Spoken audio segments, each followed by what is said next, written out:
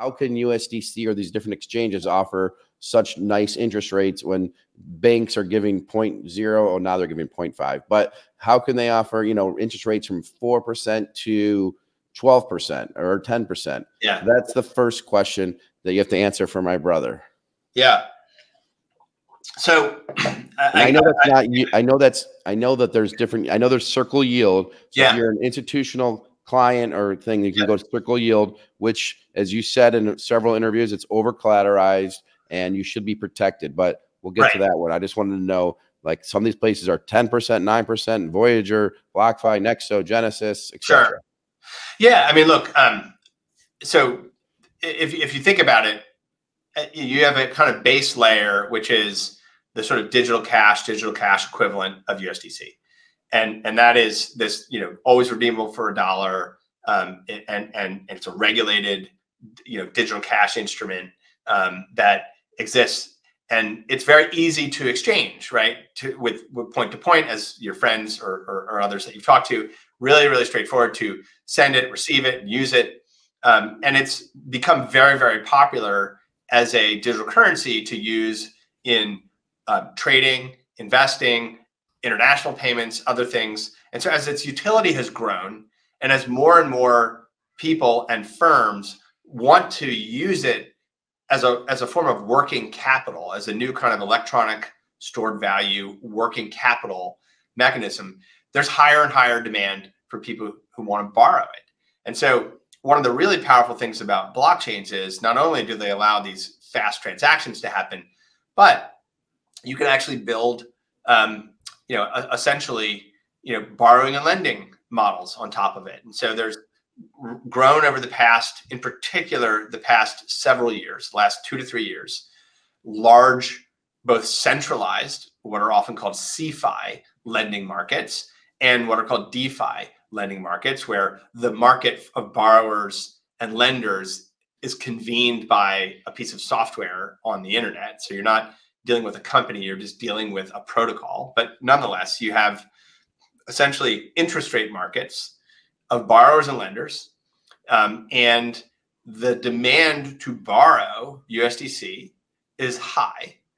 And the interest rate that borrowers are willing to pay is, is high. Um, and that is the source of those yields. Basically, you have borrowers, and, and to put it fairly simply, um, the, the, the other side of, of that borrowing um, and, and, I'll use Circle Yield as an example because it's it's the one I understand probably the most.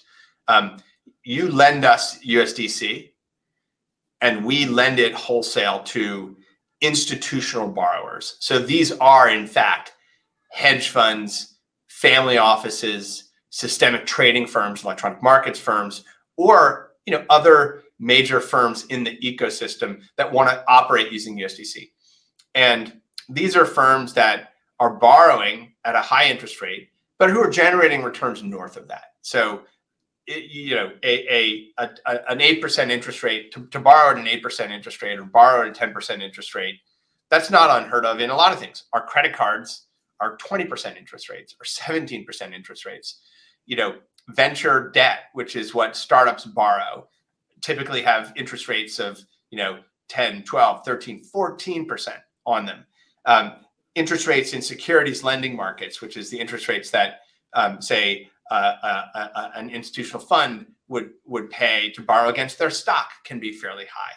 Now, you know, corporate debt uh, that's underwritten, where a corporation's borrowing against their their their balance sheet and their P and L, that's underwritten by an investment bank and has a coupon and a rating and so on.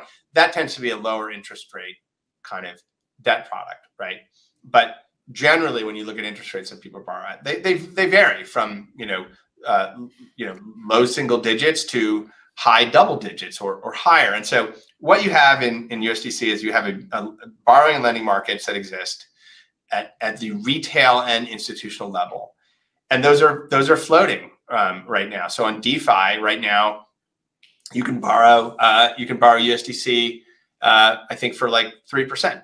Um, uh, so you know the the the the, the interest rate markets adapt to kind of market conditions and demand.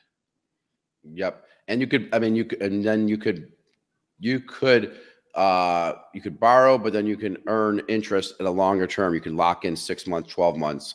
Um, right? That's right. That's right. How can they lock that in if they don't know if the borrower is the borrow is the borrower borrowing short term or are they borrowing a long term when you lock in for six 12 months yeah. on on circle yield i'm referring to yeah so with with, with circle yield if you if you um, if you want to uh, effectively um, lend uh, for six months and, and get a, a, a fixed rate uh, a fixed rate and a fixed return over that time that's exactly right the, that capital is then being utilized downstream by borrowers for longer periods of time. Um, okay. So they have effectively, oftentimes they'll have like uh, the, the equivalent of like an open credit facility uh, that they're utilizing uh, in their own business, and that credit facility has a term on it and a time frame on it and the like.